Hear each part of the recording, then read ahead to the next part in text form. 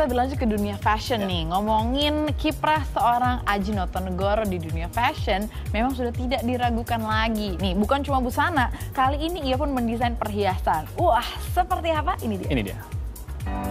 Shine bright like a diamond. Perancang ternama di Indonesia, Aji Notonegoro baru saja memamerkan karya terbarunya bekerja sama dengan Swan Jewelry. Aji berkesempatan untuk mendesain perhiasan yang dipadu padankan dengan busana rancangannya. Aji yang pernah belajar di sekolah mode Muller Son di Jerman, kemudian di Paris dan Italia untuk memperdalam ilmunya. Good people, kita lihat yuk seperti apa rancangan terbaru dari Aji Notonegoro berikut ini.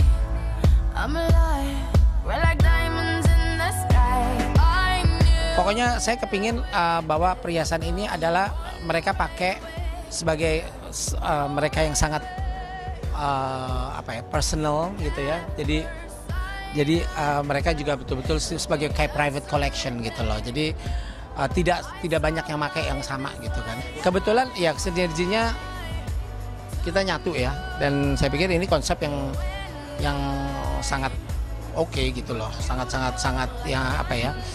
konsep yang yang yang saya pikir sesuatu yang baru untuk di dunia fashion gitu loh. Jadi saya pikir nggak ada salahnya lah.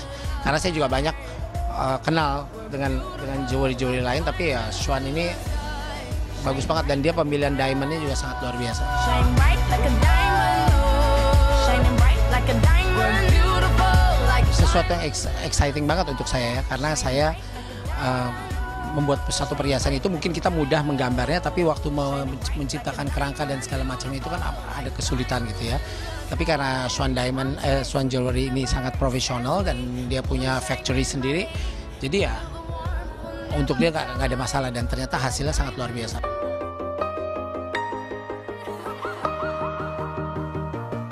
Uh, memadukan saya, saya kebanyakan saya keluarkan hitam supaya diamondnya lebih menonjol ya. Jadi, di warna diamond di warna hitam itu diamond akan lebih menonjol. Jadi uh, semua saya pakai koleksi-koleksi terbaru saya. Dan saya juga padu-padakan dengan koleksi batik saya. Jadi bawa batik itu dengan baju batik, evening gown batik, tapi juga bisa pakai diamond gitu.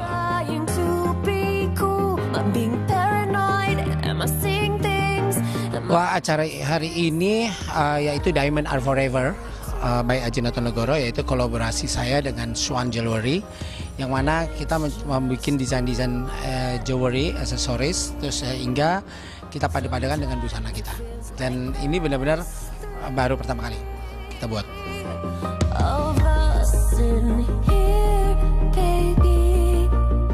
Tipsnya kita harus sesuaikan baju apa yang kita pakai dan kita harus tahu apa yang kita kita mau pakai. Jadi jangan kita mau pakai misalnya gelang, kalung, bros, apa semua kita apa kita pakai. Nah itu nggak boleh.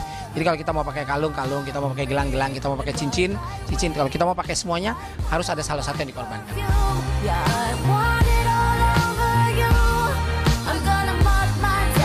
Wah, benar Sebentar. ya? Itu tadi siapa yang baju hitam? Itu namanya Dominic Diose. Bisa-bisa Iya. di situ ya. Nggak ada, makanya Pantesan ada beberapa hari ini nggak ada di sini. Karena dia sibuk, Sam. Sibuk. Dia sibuk latihan, dia sibuk juga ini merencanakan ledom, pernikahan. ledom. Model. Model. Sama sibuk merencanakan pernikahan. Nah. Alright, good dia people. ya. Ya. Aji Notogoro yang mulai merambah dunia perhiasan Iya, sekarang. ya. pas banget kan Ah, dunia fashion yang identik dengan dunia perempuan. Diamond yang katanya sebagai sahabatnya Ya. perempuan adalah match yang luar biasa. Oke. Domi juga sahabat bagi ibu di rumah. Ya,